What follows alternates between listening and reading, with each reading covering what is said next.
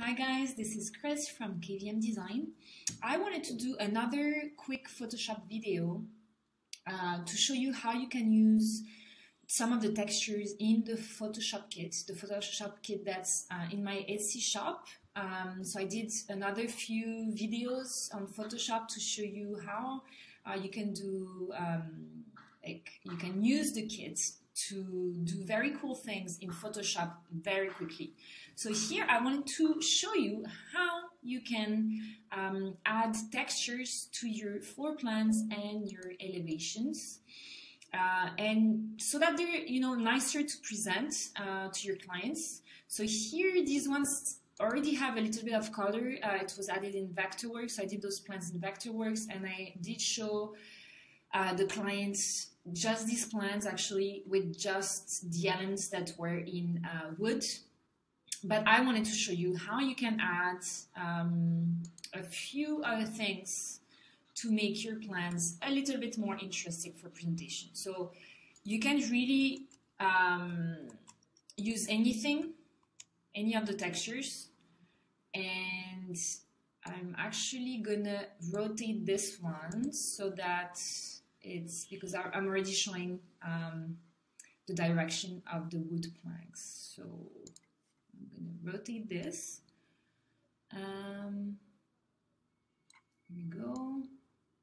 And then you just basically scale it so that it works. Wow, it works pretty well with my wood planks on my plan actually. That was totally unplanned, but um, so the, the thing that I would do if you're working in AutoCAD or Vectorworks, I would actually make sure that the furniture uh, is not wireframe, but it's, ac it's actually white. Because then when you put your floor plan, you see it doesn't, I mean, it keeps the furniture white. So then it's going to be easier for you to apply a fabric, for example, on the sofa or just a color. I would just do colors. I'm try I try to generally use a mix of colors and textures, not too many textures, so it's not too much.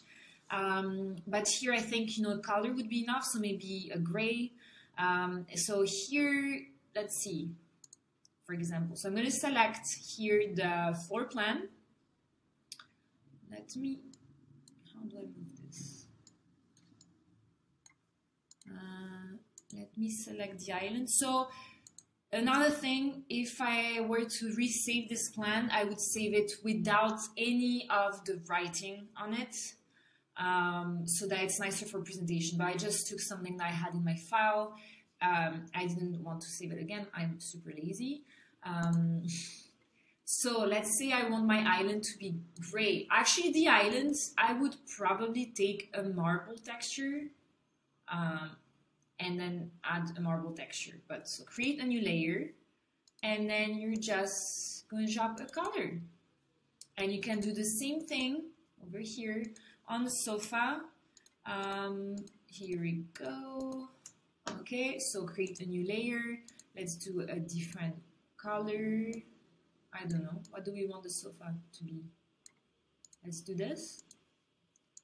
Okay, and then what you can do, so see here, I would definitely not add any dimensions because I don't think it looks very good, but you got it. So when you save your plan, better to save it without the dimensions. You could save two, two different floor plans so then you can overlap them, but make sure the furniture is kind of um, on a white background, it makes things easier to see, especially if you don't want to add color to everything. I don't think it's necessary, but see how adding just a, um, a flooring makes such a, a, um, a, big difference. So then you could use, uh, you know, shadows or, you know, to make it a little bit better. I would actually probably, I would select that top part because it's higher, right? It's the back of the sofa and I would make it a little bit darker. It already gives it a little bit more um, depth. So yeah, I could do another video to show you how to use shadows and uh, colors to make it more um, realistic, I guess. So that's for another day. Then you could add some rugs here if you have a rug that you know you're going to specify, just add the rug in the presentation, you know. Um, this Photoshop kit is great because it has um, it has you know the basic te textures, but then if you are specifying any you know um, any rugs or any type of material, you should add it into the plan and the elevation. So for example, here, so see how the wood is already showing, but you know, I generally would do that in Photoshop if I decide that I want to do, you know, just that for presentation with no 3D rendering. I would probably just do the colors in, uh, in Photoshop and add materials from the kit. So wall cladding, for example, uh, tile floor. Well, it's flooring, but I feel like it's not really flooring this one. It's more like wall. Uh, so I'll add that to the wall, for example. Here. So then you resize it so it works with your bathroom. Uh, whichever way works best. Then what you do change the opacity a little bit so you can see everything. You see here, so I'm gonna make it smaller here so it fits. And then you can also choose where you want to cut the tiles. Okay, I'll cut it here. Okay, and then what you're gonna do is from the floor plan um, layer, you're gonna pick the wand, wand and select the white background. See how it's, it's, it's selecting the wall, but it's not selecting the fixtures. This is what we want. So then you're going to go back to the tile layer. You're to say select inverse and you're to delete.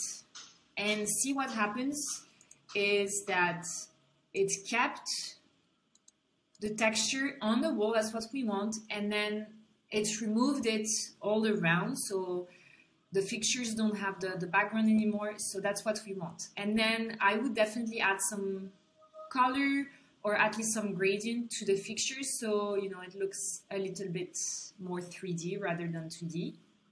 But that's how I do it. Then one more trick, what could I show you? Wall cladding. Ah, let's do a wall cladding. What do we want?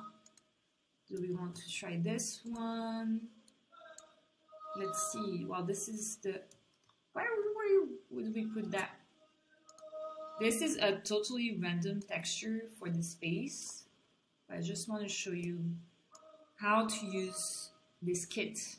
Whether it's for, you know, like visuals, because originally, you know, I I say it's for to create 2D visuals. Um, but uh, 2D, 3D visuals, but you can use it for 2D drawings as well. And I love to do that in um, for my presentations when I I don't show 3Ds. I just add textures and colors to the 2D elevations and floor plan. It makes such a difference. At least it gives you know your clients an idea of where the, the materials go and how they work together. So here you could so do the same, change the opacity. Okay, uh, let's say that we want this to be a little bit smaller. So then same, you go back to this layer, the floor plan or the elevation layer. You select here the background. Then you go back to the wall cladding, invert. Where is invert?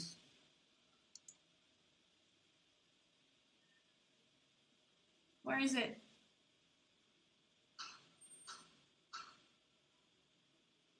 select inverse, sorry.